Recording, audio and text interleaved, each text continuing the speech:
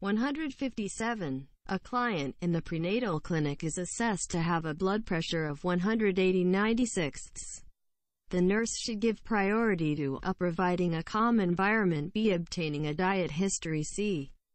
Administering an analgesic d. Assessing fetal heart tones 157.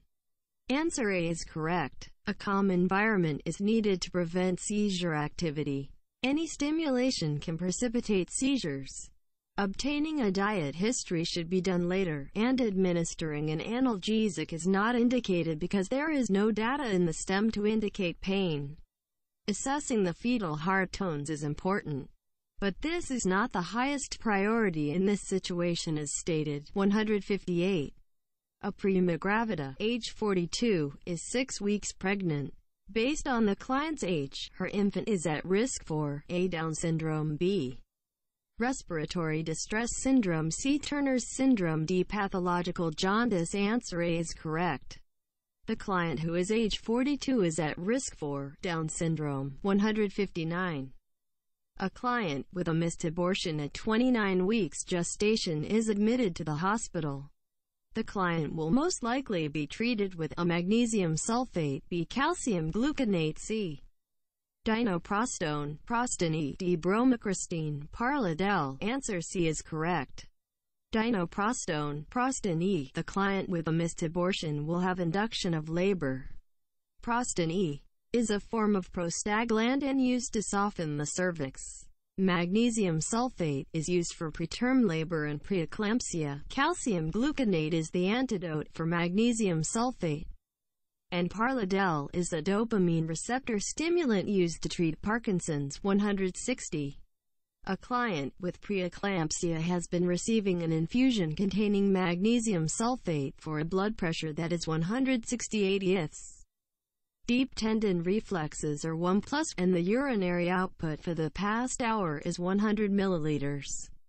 The nurse should a. continue the infusion of magnesium sulfate while monitoring the client's blood pressure, b.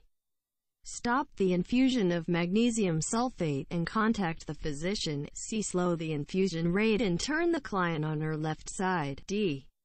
Administer calcium gluconate IV push and continue to monitor the blood pressure. Answer A is correct.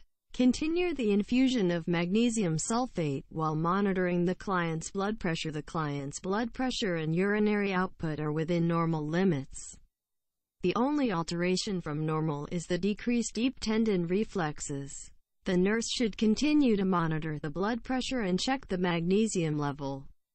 The therapeutic level is 4.0 to 8.0 milligrams per deciliter. There is no need to stop the infusion at this time or slow the rate. Calcium gluconate is the antidote for magnesium sulfate, but there is no data to indicate toxicity 161. Which statement made by the nurse describes the inheritance pattern of autosomal recessive disorders? A. An affected newborn has unaffected parents. B. An affected newborn has one affected parent. C. Affected parents have a 1 in 4 chance of passing on the defective gene. D. Affected parents have unaffected children who are carriers. Answer C is correct. Affected parents have a 1 in 4 chance of passing on the defective gene. Autosomal recessive disorders can be passed from the parents to the infant. If both parents pass the trait, the child will get two abnormal genes and the disease results. Parents can also pass the trait to the infant. Answer A is incorrect because, to have an affected newborn, the parents must be carriers. Answer B is incorrect because both parents must be carriers. Answer D is incorrect because the parents might have affected children. 162. A pregnant client, age 32, asks the nurse why her doctor has recommended a serum alpha-fetoprotein.